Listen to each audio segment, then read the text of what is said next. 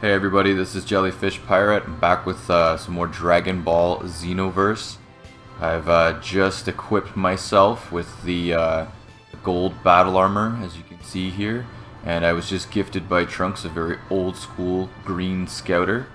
And I've been instructed to go and do uh, my first offline parallel quest, so I'm just headed there now. And see what uh, what's in store here. Okay, so it looks like this one focuses on the little Saibamen. Uh, if I remember right, these guys are supposed to have the same power level as Raditz.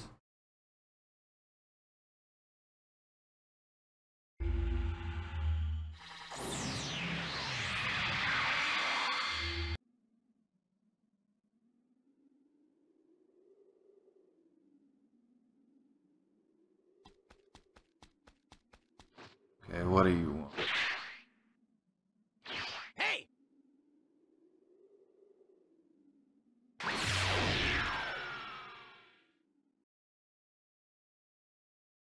Okay, so I've got to go through this gate.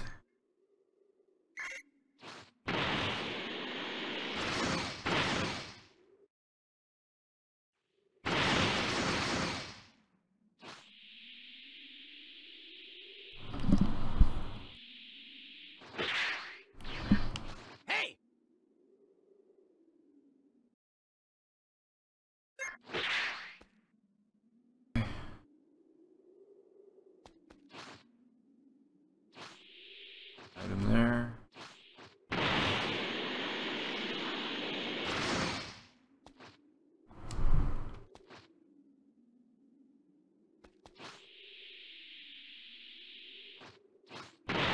Looks like you can't uh, you can't do the boost here while you're in scouter mode.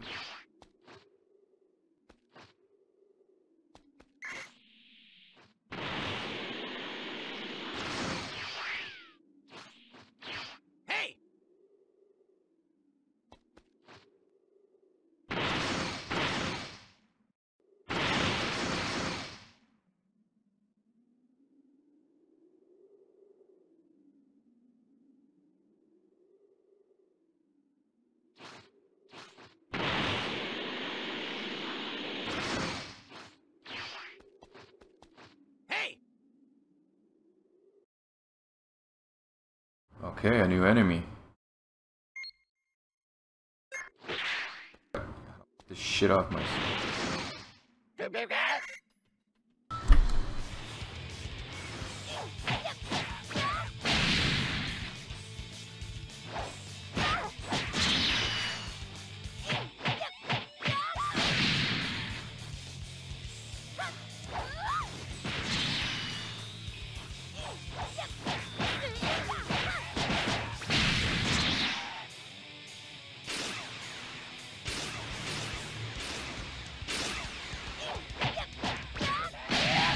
Trunks is just standing there like a douchebag while I'm having to deal with these guys.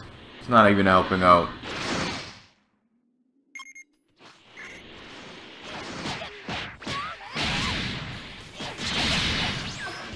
I must say I'm not really loving the combat so far.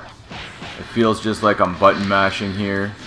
And uh, there is some ways of teleporting in and out, but sometimes you just teleport right into another attack.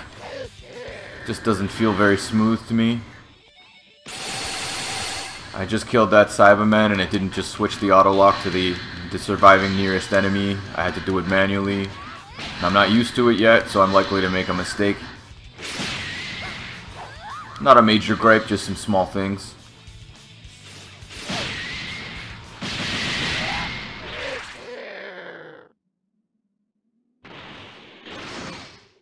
Raditz again. So, there are the Saiyans alive besides us!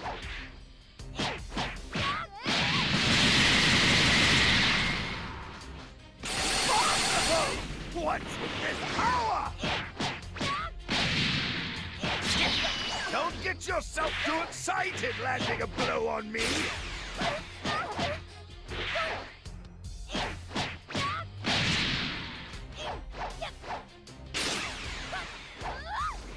Even to try and do the throw there, you've got to hold the uh, the L1 button and hit the O on the PS4 here.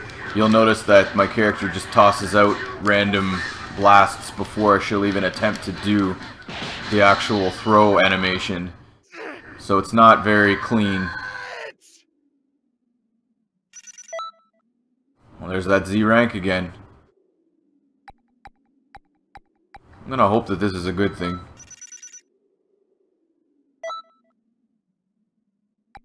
Okay, so we got some new items. No idea of what they do.